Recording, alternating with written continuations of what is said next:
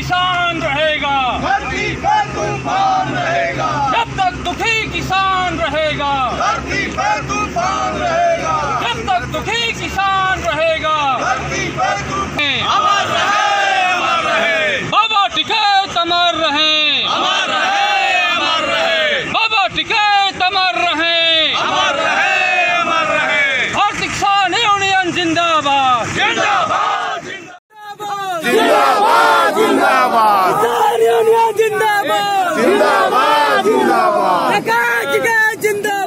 जिंदाबाद जिंदाबाद। हम तुम्हारे साथ हैं। जिंदाबाद जिंदाबाद। बाबूलाल मानव राष्ट्रीय संयोजक भारतीय किसान सेना संबद्ध भारतीय किसान यूनियन। क्या कार्यक्रम रहा आज आपका? कार्यक्रम आज हमारे राष्ट्रीय प्रवक्ता आए यूनियन यूनियन के। उनका स्वागत किए स्वागत करने को उनको सासाराम जाना था और उनका उनको यहाँ से विदा किए। अब हम चल रहे हैं यहाँ पर भीटी में भीटिया में। कार्यक्रम कल लगा उसकी तैयारी में हूँ। क्या संदेश मिला उनसे?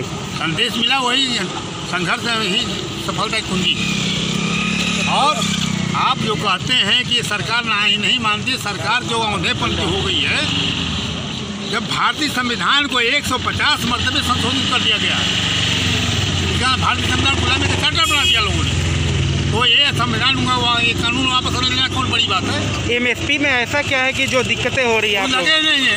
एम पी आपके अठारह सौ अड़सठ रुपये नाम है चौदह सौ रुपये हम धान बेचते हैं।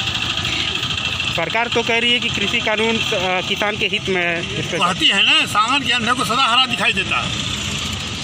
और उसको ये पता नहीं है कि किसान कितनी मशक्कत से खेती करता है कितना उत्पादन करता है अब कहते हैं हम बाज़ार खोल दिए हैं। जब तक यहाँ का किसान दो दो कुंटल गेहूँ लेकर हरियाणा बेचने जाएगा? बिक जाएगा उसमें आखिर में उनका मीडिया ही ले तो जाएगा। लेकिन इससे अच्छा है कि गाँव का हर अपने सोसाइटी में दुकान खोल दे, जो हमारे पैसे से पलते हैं। ये संवैधानिक जो अड़चन पड़ी है, संविधान की धारा देते हैं, वह केवल झूठ बोलता है और कुछ नहीं। पारसनाथ तिवारी भारतीय किसान यूनियन वरिष्ठ जिला उपाध्यक्ष चंदौली क्या कार्यक्रम रहा आज आपका? कार्यक्रम यह है कि आज तो हम माल्यार्पण स्वागत कर रहे हैं रोड पर। हमारे यहाँ कल वो भिटिया में लग रहा कार्यक्रम।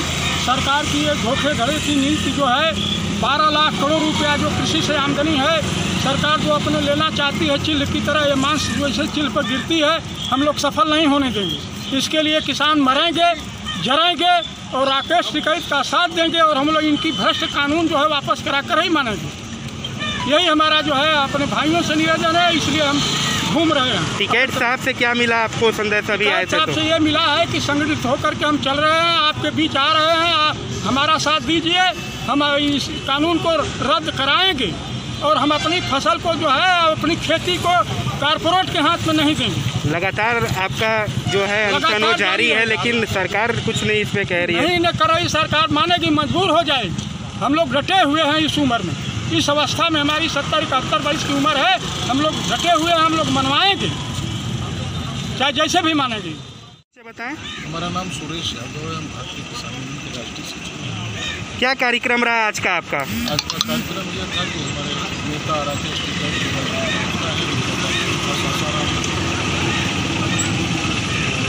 जा रहे थे और यहाँ भी कल कार्यक्रम है रास्ते में भी कई कराया कि आपका सारा जाए और वहाँ से वापस वापस जाए। इसी परिप्रेक्ष्य में हम साथ क्या मांगे हैं आप लोगों की? हमारी ये है कि जो तीन कानून बने हैं, कृषि कानून उन कानून को सरकार वापस करे और एन पर कानून बना दे।